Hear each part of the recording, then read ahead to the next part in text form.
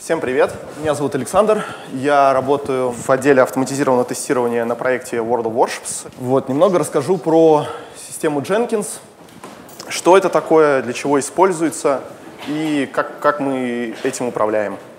Первая часть доклада будет о том, что это такое вообще, какими понятиями оперирует и для чего использовать ее. А вторая часть про то, как, как мы этим управляем. Собственно, Jenkins — это система, которая э, запускает задачи на распределенном кластере. Делает это централизованно. Состоит из двух компонентов. Это, собственно, задачи и агенты, на которых эти задачи будут запускаться. Windows, Linux, macOS не имеет значения. Применяется для различных Continuous Integration, Continuous Delivery практик. Как пример, следим за системой контроля версий, ждем там какого-то комита, после этого делаем сборку и выкатываем все это на тестовое окружение. Из чего состоят Jenkins задачи? Это заголовочный блок, где указываются различные параметры Э, работа с системой контроля версий поддерживаются, самые разнообразные. Триггеры, э, каким образом будет запускаться эта задача, например, по времени или каким-то другим образом, например, человек нажал просто на кнопку.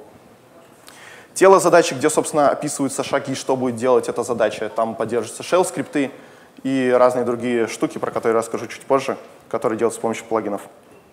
И финишные активности — а, что мы хотим после этого? Например, у нас задача собирает build, соответственно, после этого мы хотим получить какой-то бинарники, например, и что-то с ними сделать. Архивируем это и показываем пользователю ссылку. Э, выполненная задача характеризуется, э, собственно, номером, логом выполнением и артефактами. Заголовочный блок, блок состоит из параметров, Э, там можно указать ротирование, как будет происходить ротация логов или артефактов, потому что задача может запускаться там 10 тысяч раз, накопится большое количество билдов и память закончится. Различные настройки, работа с системой контроля версий, ну, триггеры, как я уже говорил. Выглядит это примерно вот так вот. Э, имя параметра, допустим, его дефолтное значение, description, который отображается, когда мы будем пытаться запустить задачу, и различные настройки. Тело задачи. Там можно указывать shell-скрипты, bat-скрипты, э, запуск другой задачи с различными параметрами, которые требуются, служебные шаги, например, э, переменные, которые нам нужно загрузить в этот space, копирование артефактов из другой задачи, э, различные действия, которые привносятся плагинами. Все вот это делается с помощью переменных окружений. То есть э, любой параметр — это переменное окружение, которое мы можем использовать в наших shell-скриптах, в других задачах, э, в каких-то плагинах или в, артефактах. Как это выглядит? Собственно, вот shell-скрипт, который что-то делает. В данном случае он создает файлик, в котором э, переменное окружение равно там выполненному этому скрипту. И потом в этот space с помощью специальной инструкции загружается это переменное окружение. А потом запускается скрипт, который уже использует загруженные вот, этот вот, вот это переменное окружение. Заключительные активности, э, сохранение артефактов, логи какие-то, архивы, э, отправление уведомлений по почте с помощью темплейтов, э, по джаберу, хипчату и так далее и тому подобное. Анализ лога, если нас интересует, что в логе что-то произошло, как-то на это отреагировать, можем отреагировать, запустить какой-то скрипт, который что-то тоже сделает. И либо запуск другой задачи э, в конце. Допустим, можем э, какой-то триггер включить, а этот триггер отслеживает другая задача, которая запустится след, следом. Есть ли какие-то вопросы по... Да? Насколько хорошо Jenkins интегрирован с TeamCity? Знаешь ли ты? А, Jenkins и TeamCity — это параллельные системы, то есть, да, никак не интегрирован. Скорее всего, интеграцию можно как-то сделать, но если это требуется. Преимущество Jenkins в том, что он бесплатный, open source, соответственно, все отсюда. Теперь как мы э, подходим к управлению всем этим хозяйством. Так как это веб-интерфейс, э, когда задач много, возникает проблема с тем, что менять это все очень сложно, когда меняется workflow или просто нужно добавить что-то еще. рассмотрели разные варианты, как можно этим управлять, и нашли э, проект э, на GitHub, который используется OpenStack, попозже о нем расскажу, и который в качестве конфигурации, собственно, самой системы использует YAML, язык с конфигурацией. Какие плюсы? Хранение в системе контроля версий. То есть э, наши файлы всегда, мы видим все изменения, которые кто-то вносил, видим, можем откатиться, если требуется, если что-то у нас не заработало. Легкость изменения и поддержки. Это гораздо проще, чем веб-интерфейс. YAML намного лучше, чем XML для человека, потому что XML — это нативный формат Jenkins, который вы можете тоже менять, и теоретически все будет работать, теоретически. Работа в знакомом окружении. IDE, текстовые редакторы, всем знакомы, все, все разработчики и DevOps ими пользуются, и поэтому там есть подсветка синтаксиса, и все просто. Ну и различные плюшки, шаблоны, то есть делаем какой-то шаблон, на основе него легко конфигурируются другие задачи. Ну и копипаст тоже поддерживается. Минусы. Так как используется сторонняя тулза, собственно, нужно ее скачивать и устанавливать разработчикам, которые будут поддерживать эту систему. Синхронизация только в одну сторону. Это означает то, что мы сделали конфиг, запускаем тулзу, она э, через API устанавливает ее на Jenkins, загружает задачи. Но если задача меняется через веб-интерфейс, то эта тулза ничего об этом не знает. Поэтому через веб-интерфейс в этом случае э, работать нужно очень осторожно.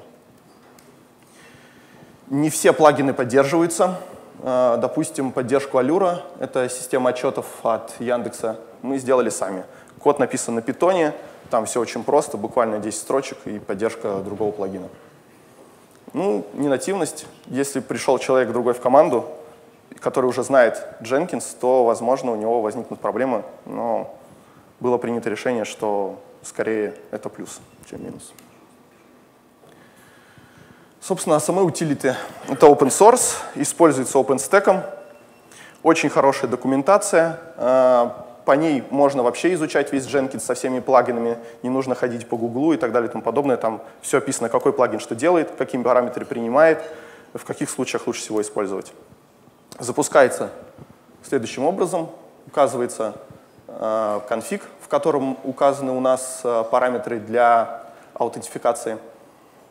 То, что мы хотим проапдейтить наши задачи, которые лежат вот в этой папке. Он рекурсивно проходит по всей папке, и все задачи, которые там есть, загружает на Jenkins. Ссылки, сам общий репозиторий на OpenStack, э, мой, э, который с поддержкой Allure, и документация очень подробная и хорошая. Пример. Имя, как задача у нас называется, defaults, это поле, которое отвечает за то, откуда будут браться дефолтные параметры какие-то, э, не сохраняются рядом. Собственно, то, что, что будет выполняться, в данном случае это bat-файл, в котором вот такие шаги выполнения. И заключительные активности, архивация вот этих вот всех логов, крашей, там, картинок, джейсонов и других файликов. Сейчас расскажу немного про наш флоу. У нас фича бранчинг разработка, соответственно, для того, чтобы протестировать э, игру, нам нужно скачать э, бранч, в котором разрабатывается сейчас версия новая или какая-то отдельная фича, э, запустить на ней тестирование с помощью end-to-end сценариев, которые запускают игру, э, эмулируют игрока, кликают мышкой по экрану, ожидают какой-то реакции, и, соответственно, таким образом прогоняется тест. Для этого был написан специальный фреймворк, который аналогичен Selenium. Также есть еще интеграционные тесты, э, которые запускаются конкретно на сервере игры и тоже там делают разные сценарии, которые связаны с тем, что ну, когда нужна большая нагрузка или несколько человек. И все это нужно делать параллельно. В том плане, что, допустим, у нас примерно в разработке находится одновременно 20 веток, соответственно, в день заливается в транк ветки 3, допустим, и нужно их параллельно гонять для того, чтобы всегда быть в курсе, что там происходит.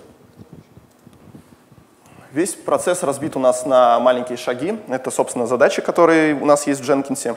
Это апдейт для линуксовых агентов, Windows агентов, Linux туда, куда выкачивается сервер, э, Windows, куда выкачивается клиент игры. Серверные тесты — это тесты с помощью ботов, и клиентские тесты, э, которые вот end-to-end сценарии с помощью нашего фреймворка.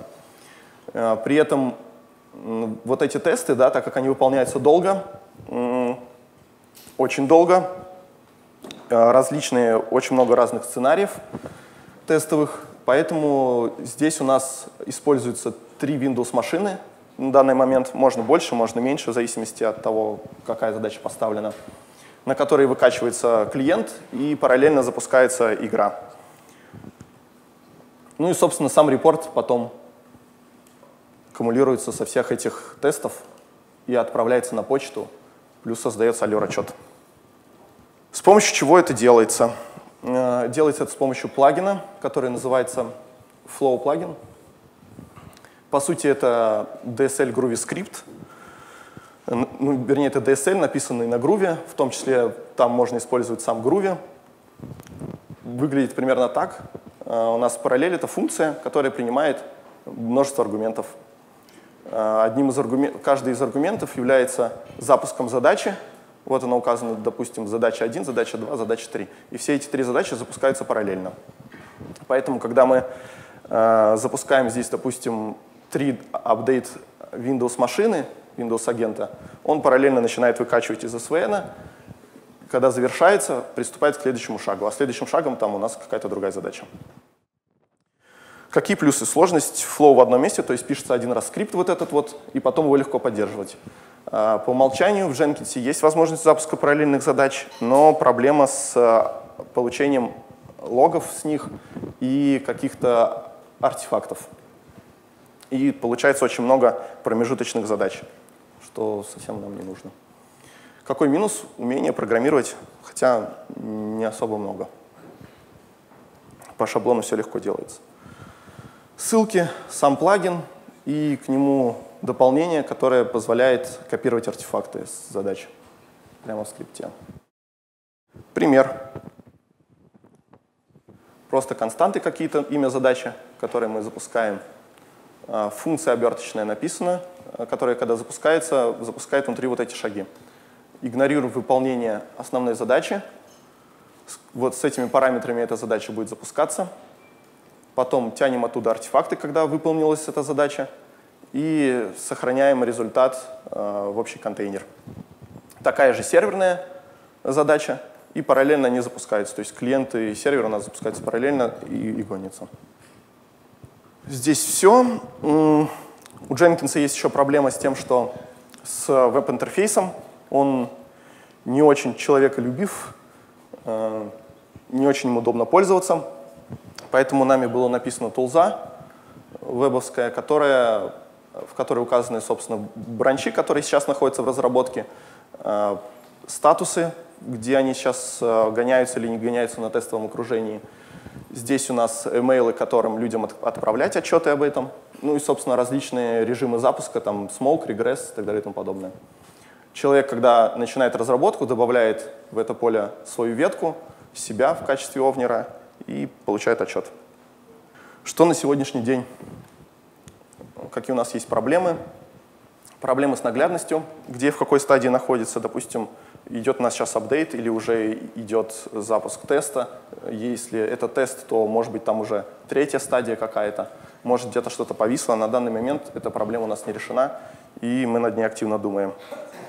Если проводятся какие-то сервисные работы с веб-частью или деплой что-то делает на каких-то серверах наших тестовых, то нужно отключать временно на этих тестовых серверах прогон тестов. Пока это не делается никак, тоже над этим думаем.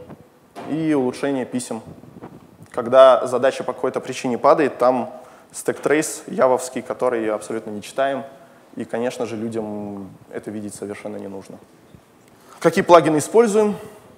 Просто список для тех, кто будет смотреть презентацию. И меня можно поймать, обсудить автоматизацию тестирования. Используем Python Nose PyTest. Боты — это маленькие клиенты для нашей игры. и чуть-чуть веба, на, на чем написано это приложение.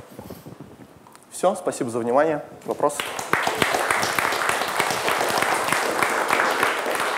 Да, почему Jenkins есть, есть же альтернатива? Я, например, сейчас сравнил с TechShare, зашел в сайт, и там Travis CI выигрывает по пунктам. Ну, Travis CI, он поддерживает SVN? Я сомневаюсь, это во-первых. Во-вторых, у нас все-таки закрытый проект. SVN очень большой, там в районе, одна ветка весит в районе 100 гигов. Гонять все это по интернету, это не представляется никакой возможности. То есть все вот эти системы, которые Travis CI там, и так далее и тому подобное, которые в интернете очень сейчас активно продвигаются, написаны ногой и так далее, они для такого флоу и такой разработки не предназначены. То есть те SaaS, а этот э, сам, самым... Да, ставится на сервер отдельный выделенный эта система, как TeamCity. С TeamCity вы знакомы, нет? Да, но TeamCity там вообще есть. У Jenkins это 500 с чем-то, у TeamCity 17 баллов. А ну, первый Travis CI. Ну, Travis CI, да, подходит, но для веб-проектов, которые на GitHub, например, разрабатываются, такого плана. Для игры они, к сожалению, слабо подходят. Sven там точно не поддерживается. Привет. А, у меня такой вопрос. А, в инфраструктуре VG, да, если мы говорим, у нас очень много атласиновских а, решений. Jira, Confluence, TeamCity, Stash и там куча всего. А почему был именно выбран Jenkins? А, ну, какие у него преимущества между вот этой организованной инфраструктурой, включая там интеграцию с хипчатом, а, уведомления везде и всегда? Потому что, ну, я знаю, что многие посматривают в сторону Дженкинса, и мне никто еще не сказал, почему это лучше, чем не, не почему это лучше, чем TeamCity, а почему это лучше, чем TeamCity плюс вся эта интеграция. Ну, допустим, на нашем проекте вся, вся интеграция с продуктами Atlassian выключена. По простой причине все это очень тормозит, если Jira очень сильно нагружена. Jira нагружена, у нас очень все плохо работает, и никакой смысла в, этой, в этой интеграции просто нет. И плюс еще в том, что он бесплатен.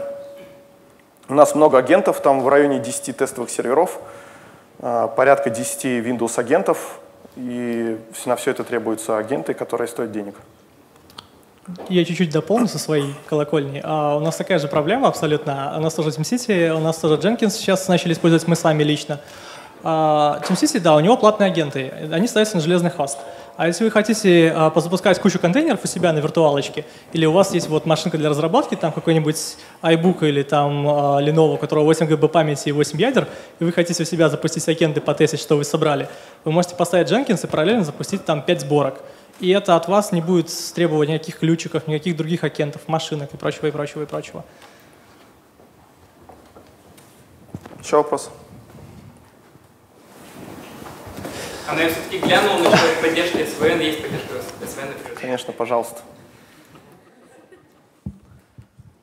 А, привет, меня зовут Саша, а, я тоже с гейминга, в общем-то. А, работал на ДВХ, и мы Jenkins использовали э, не совсем альтернативно, не, не совсем по назначению, скажем так. Это был наш ETL tool.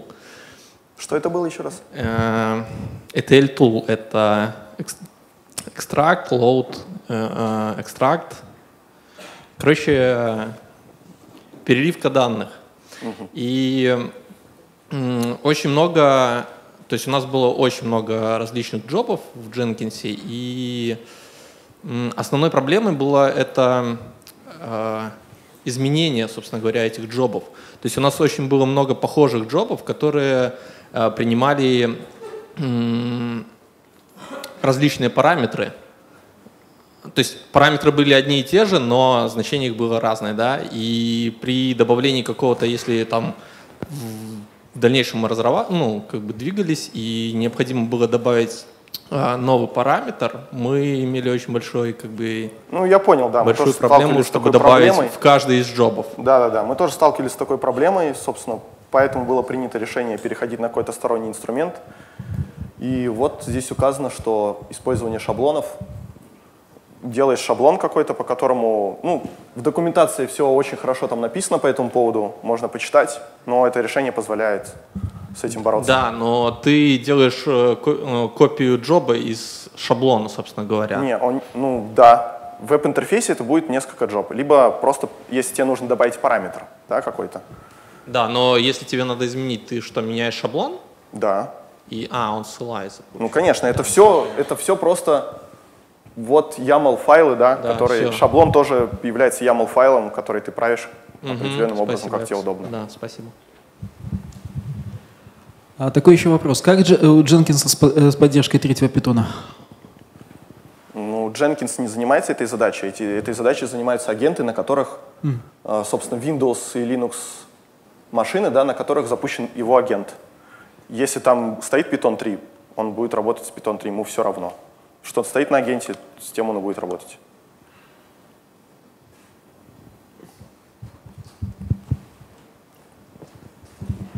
Привет. Можно ли Дженкинсом решать задачу по автоматическому тестированию а, в случае, когда нужно создать виртуальную машину, протестировать и удалить ее? Да, можно. Ну, конкретно мы, у нас нет такой задачи, но есть плагин, который позволяет работать с виртуальными машинами. Он будет создавать вначале, или с контейнерами даже, создавать контейнеры, после тестирования его удалять.